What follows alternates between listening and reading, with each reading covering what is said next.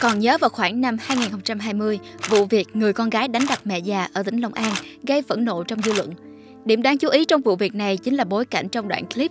Một căn nhà tồi tàn với những bức tường gạch còn không được sơn cho tươm tất.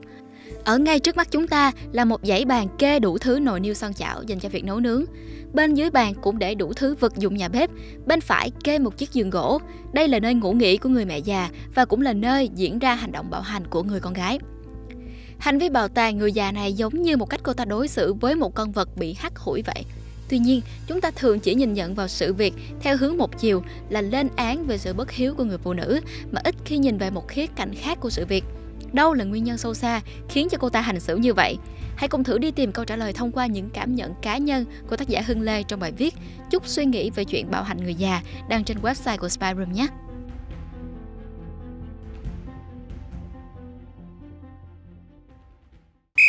Trước khi đi tiếp thì Spider Room có một thông tin rất quan trọng cần chia sẻ với các bạn.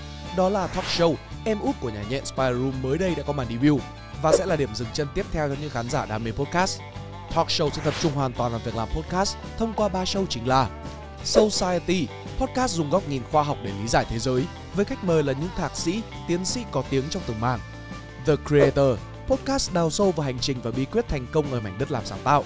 Và thứ ba là A Bittersweet Life, nơi chúng mình chia sẻ những câu chuyện đắng cay ngọt bùi của cuộc sống để giúp người nghe cảm thấy yêu đời hơn. Link dẫn đến talk show sẽ được chúng mình để ở dưới phần mô tả và bình luận ở phía bên dưới. Còn bây giờ thì quay trở về với chủ đề chính ngay thế nào. Cha mẹ nuôi con bể hồ lai láng, con nuôi cha mẹ kể tháng kể ngày. Những câu chuyện con cái ngược đãi cha mẹ vốn không hề hiếm ở Việt Nam. Trước đây đã có rất nhiều clip ghi lại cảnh một người con đánh đập một người cha hoặc một người mẹ già yếu đã không còn khả năng kháng cự. Điều mà tôi lưu ý ở các vụ việc như thế chính là bối cảnh diễn ra của nó, những ngôi nhà tồi tàn lụp sụp. Mặc dù dư luận xã hội cố gắng né tránh điều này mà chỉ tập trung lên án sự bất hiếu của người con và nại ra câu nói muôn thở cha mẹ nuôi con bể hồ lai láng, con nuôi cha mẹ kể tháng kể ngày đã trở nên quá xáo mòn.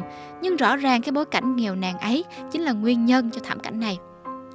Bạn sẽ khó tìm thấy một cảnh ngược đãi cha mẹ già kiểu đó ở một gia đình khá giả hoặc giàu có, bởi vì đơn giản là với một điều kiện kinh tế ổn thì người ta thừa sức chăm lo cho cha mẹ đang nằm liệt giường, nếu không làm được thì thuê người chăm sóc. Dù có thể là họ sẽ cảm thấy lạnh lẽo khi không được đích thân con cái săn sóc, nhưng ít ra thì họ vẫn được đảm bảo về các nhu cầu vật chất. Hơn nữa, ở trong các gia đình như vậy, người ta thường có ý thức giữ gìn sức khỏe tốt hơn nên ít khi làm phiền con cháu. Biết giữ gìn sức khỏe của mình là một loại trách nhiệm với người thân. Chuyện này liên quan tới rất nhiều về vấn đề kinh tế, xã hội phức tạp, chứ không chỉ đơn giản là chuyện bất hiếu hay có hiếu. Khi quan sát một số đoạn clip như vậy thì tôi bắt đầu liên tưởng đến quá khứ cách đây hàng chục năm của những ông bà cụ bị ngược đãi ấy và chúng ta có thể khẳng định được điều gì?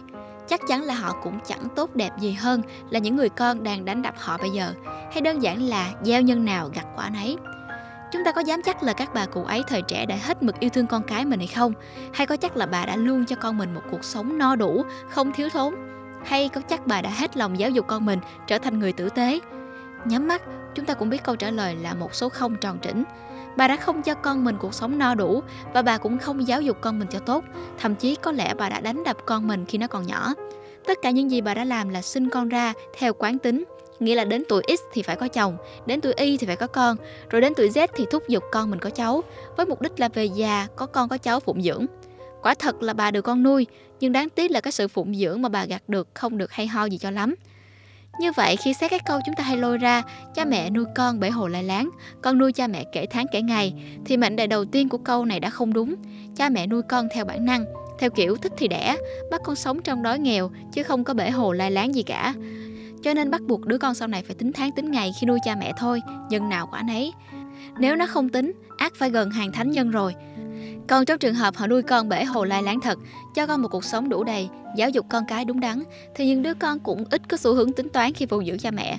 Mà chúng cũng đâu cần phải tính toán gì nhiều, vì những người cha mẹ có kinh tế tốt, có trách nhiệm, thì về già họ cũng tự chủ ít phải phiền đến con cái. Những người già tự chủ, cộng với những đứa con tử tế, đó mới chính là đạo lý ở đời. Cái này tôi gọi đó là lợi ích kép, Chứ còn bắt con sống nghèo khổ, Không biết dạy con, Mà đòi sau này chúng có hiếu, Thì chỉ là chuyện viễn tưởng. Đây là thiệt hại kép. Cho nên câu nói dạy đời ở trên về căn bản là sai bét. Tôi sẽ sửa lại câu này như sau. Cha mẹ nuôi con bể hồ lai láng, Con nuôi cha mẹ bất kể tháng ngày, Và ngược lại. Người phụ nữ ngược đãi mẹ mình ấy chắc hẳn đã phải làm công việc chăm sóc người mẹ bệnh tật trong một thời gian dài. Ban đầu, ngày một ngày hai thì còn chịu đựng được, có khi còn vui vẻ nữa. Nhưng nếu quá trình ấy kéo dài hàng tháng, rồi hàng chục năm trời, thì không ai trong chúng ta dám chắc rằng mình còn giữ được sự điềm tĩnh mỗi khi đối mặt với bệnh tình hay trái gió trở trời của người già, hay đổ bô, lau dọn chất thải, đút ăn, dỗ dành, vân vân. Ban đầu đâu có ai khen ngợi người phụ nữ vì đã bỏ công chăm sóc mẹ già, nhưng khi mọi sự chịu đựng đã vượt quá giới hạn và nó đã bùng nổ khi cô quát tháo và đánh đập bà thì cô trở thành đối tượng bị xã hội nguyền rủa. Cốt lõi của vấn đề chính là điều kiện kinh tế. Trong bối cảnh người già Việt Nam không hề có sự hỗ trợ gì khi về già, dăm ba người thì có được khoản tiền hưu còm cõi, không đủ mua thuốc uống. Đó là chưa kể sức khỏe của họ bị bào mòn đến kiệt quệ do tuổi trẻ lao động quần quật để sinh tồn, thì mọi gánh nặng để nuôi dưỡng họ đều trút lên đầu người trẻ. Với những ai giỏi kiếm tiền, có thể chăm lo tận răng cho cha mẹ thì không nói. Còn những người gặp khó khăn trong sự nghiệp, không đủ nuôi được bản thân thì lấy gì để chăm lo cho cha mẹ. Hậu quả nhãn tiền là bao nhiêu sự bức bối, sự đau khổ mà họ phải gánh trong cuộc sống mưu sinh đều trực chờ để một ngày nào đó trút lên đầu cha mẹ già và trút lên những đứa con của họ nữa. Nó trút xuống không phải trong ngày một ngày hai mà bởi sự kiềm chế của họ, nó chỉ bộc phát sau nhiều năm. Đó là cái nguyên nhân về mặt xã hội, còn cái nguyên nhân từ chính những ông bà cụ ấy chúng ta đã thấy. Sinh con đẻ cái theo quán tính, cộng thêm việc bỏ con cái lăn lóc trong đói nghèo và giáo dục con tệ hại là cái combo khiến cho họ gánh chịu hậu quả bị ngược đãi ngày hôm nay.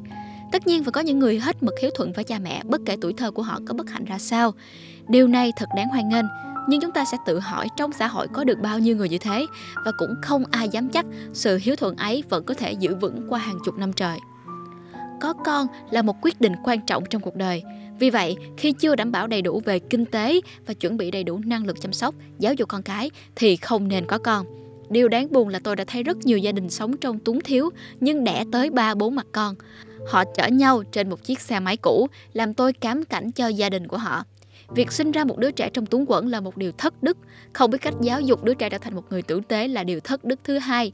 Những người sinh con ra trong nghèo đói đang tạo ra một thế hệ bất hạnh trong tương lai, cũng như đang gián tiếp biến họ thành nạn nhân của sự ngược đãi khi về già. Người ta có thể tự huyễn hoặc mình rằng rồi mọi chuyện sẽ tốt đẹp hơn cho con cái mình, nhưng họ quên rằng hầu hết các trường hợp thành công đều xuất thân từ một gia đình có nền móng kinh tế vững chắc ngay từ đầu, chứ nhà nghèo vượt khó chỉ là thiểu số. Tương lai đen tối này đã được thấy trước, nhưng người ta vẫn thi nhau dấn thân vào một canh bạc đầy may rủi. Nhiều cha mẹ sinh con ra rồi bắt đầu than vãn về chuyện lấy tiền đâu ra đóng học phí. Khi con đòi mua đồ chơi thì ca tháng bài ca, con phải biết ba mẹ rất khổ sở để kiếm tiền.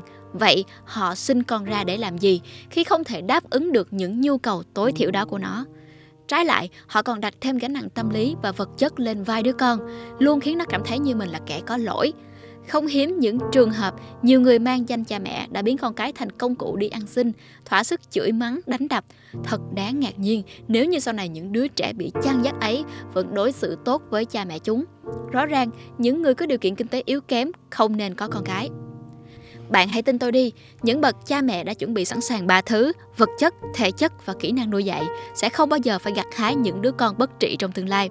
Nếu có chăng thì chỉ là những trường hợp hết sức cá biệt. Còn trong thực tế tôi thấy rằng có đến hơn 90% người Việt Nam hiện nay không hề chuẩn bị gì về ba thứ này. Nghèo khó cộng với thể chất yếu đuối, nhiều khi mang thai đã khó thì lấy sức đâu ra cho con bú, thức khuya để dỗ con. Những người cha thì rượu chè hàng đêm, tay lăm lăm điếu thuốc thì làm sao có thể chất. Còn kỹ năng nuôi dạy là con số không to tướng hoặc giả thứ kỹ năng nuôi dạy mà họ có chỉ là những câu quát tháo thường ngập và một mớ lời răng dạy con nít sáo rỗng nhưng sai bét trong thực tế.